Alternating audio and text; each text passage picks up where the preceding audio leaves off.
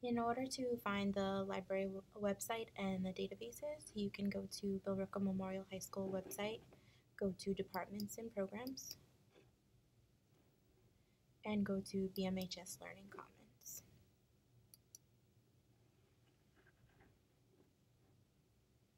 Once on the website, uh, you can see the Database tab,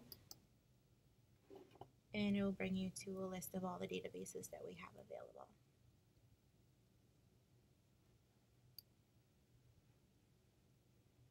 Some of the databases may ask you for a password. You can see here there's a link for BMHS database and ebook passwords with billerica12.com login. And you just need to type in your email address.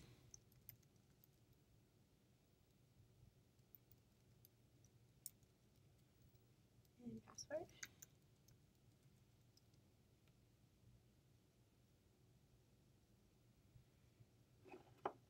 It'll open up a document that will give you all the passwords in order to access all of our databases.